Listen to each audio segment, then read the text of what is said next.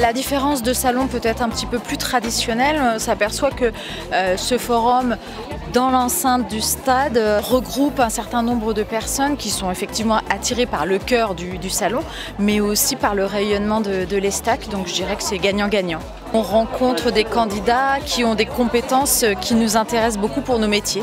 On a à cœur aussi euh, que cette journée, enfin ces deux jours en l'occurrence, soient des journées qui soient profitables pour, euh, pour nous et euh, les résultats ont toujours été concluants, oui.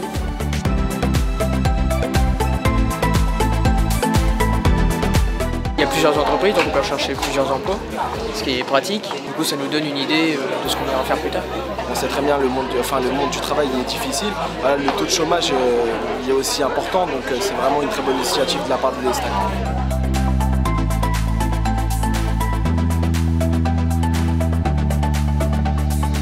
Ça bien que toutes les entreprises du secteur soient réunies pour proposer leurs offres d'emploi et ça nous permet, nous, euh, qui cherchons du travail, d'avoir des contacts.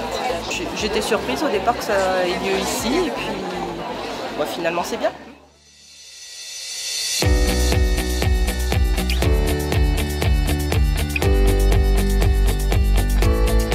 Je suis très impressionnée par euh, le nombre de partenaires que vous avez réussi à mobiliser sur un tel événement.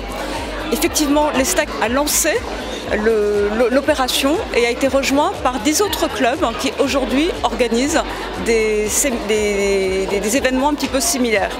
Et, je tiens donc à vous en féliciter parce qu'on sent que c'est un événement qui maintenant est ancré véritablement dans la vie du club et dans le territoire et qui prouve la solidarité du club également vis-à-vis des, des, personnes qui recherchent un emploi. Et cette opération, elle prouve la générosité du club et sa solidarité envers, euh, sa région et, c'est très important, donc envers ses, supporters, puisqu'effectivement il y a des supporters qui viennent déposer leur CV, mais euh, là j'entends qu'il y a pratiquement 3000 visiteurs sur un événement de ce type en 24 heures, c'est une formidable réussite. Bravo.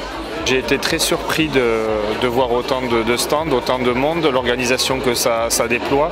Comme je disais euh, dans, mon discours, je suis, je suis quand même fier de faire partie de ce club au niveau déjà sportif, mais je me rends compte qu'aussi il y a des données sociales dans ce club et, euh, d'arriver aussi euh, à tirer le maximum de chacun pour qu'on puisse aussi permettre à d'autres personnes d'avoir un emploi, c'est important et, voir que le club se démène à la fois sur l'aspect sportif et sur l'aspect social, c'est pas facile.